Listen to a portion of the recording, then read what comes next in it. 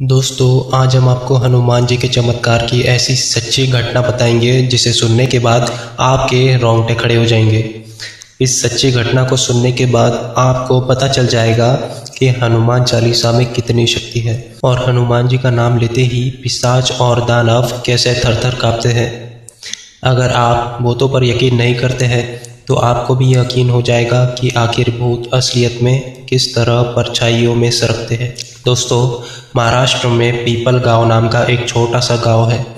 गाँव के बाहर हनुमान जी का एक प्राचीन मंदिर है, जहाँ पर गाँव में रहने वाले लोग हनुमान जी की पूजा करने जाते हैं।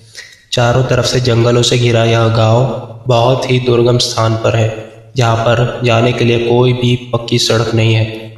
गाँव में रहने वाले लोगों को चार किलोमीटर दूर मौजूद हाईवे तक पहुँचने के लिए जंगल के रास्ते से होकर जाना पड़ता है। गाँव वालों के अनुसार इस जंगल में कई प्रकार की दुष्ट शक्तियों का वास है। साथ ही यहाँ पर कई तांत्रिक क्रियाएँ भी होती आई है। इसलिए इस जंगल में कोई भी अकेले नहीं जाता। कई बार तो जंगल के रास्ते से जाते समय लोगों पर बुरी शक्तियों का प्रभाव पड़ जाता है। आत्माओं द्वारा पीछा करने की घटनाएँ सामने आती है। लेकिन जैसे ही वह भागते हुए हनुमान जी के मंदिर के समक्ष आते हैं तो यह बुरी शक्तियाँ उनका पीछा छोड़ देती है। इसी कारण गाँव के लोगों ने हनुमान जी के चमत्कार का कई बार अनुभव किया है। हनुमान जी के मंदिर के कारण कोई भी बुरी शक्ति गाँव में प्रवेश नहीं कर सकती।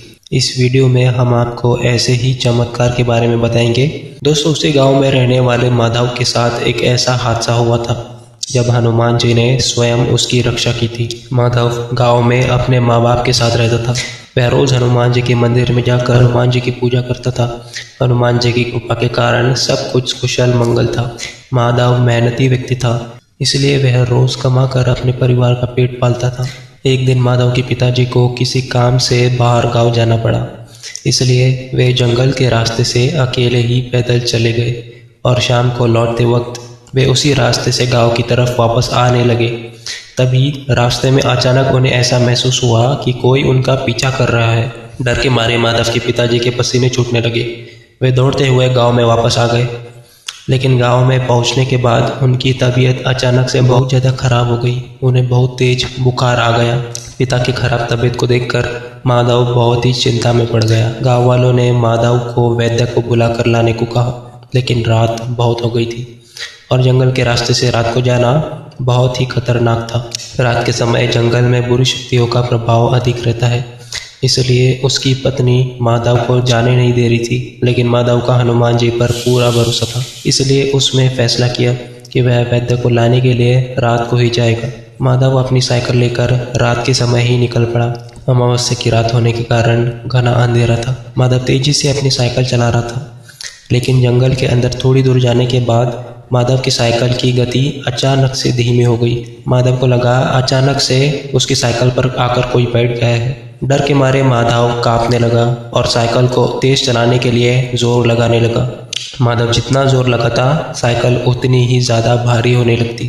थोड़ी दूर जाने के बाद एक पीपल के पेड़ के पास अचानक ज़ोर से कुछ फूटने की आवाज़ आई और साइकिल रुक गई।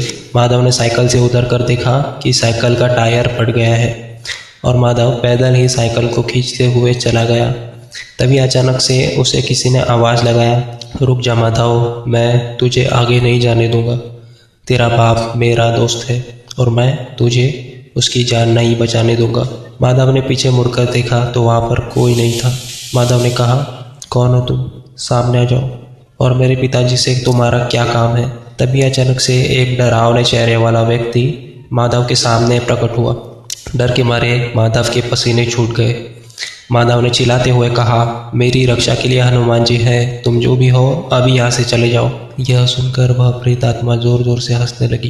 तभी माधव ने अपनी आँखें बंद की और ज़ोर ज़ोर से हनुमान चालीसा का पाठ करने लगा और फिर अचानक आसमान से एक ज़ोर की बिजली गड़की और जंगल का वातावरण एकदम से शांत हो गया। माधव ने अपनी आँखें खोली। तो वह प्रेत आत्मा वहाँ से जा चुकी थी। फिर माधव दूसरे गाँव में जाकर वैद्य को लेकर वापस लौट आया और हनुमान जी के मंदिर का सिंदूर अपने पिताजी के मस्तक पर लगाया। उसके पिताजी भी पूरी तरह से ठीक हुए और गाँव वालों ने मिलकर हनुमान जी को नमस्कार किया। आज भी गाँव वाले हनुमान जी को बहुत मानते हैं। तो दोस्तों, यह घटना आपको कैसी लगी, हमें कमेंट बॉक्स में ज़रूर बताएँ। हनुमान जी के भक्त कमेंट में जय श्री राम अवश्य लिखें। धन्यवाद।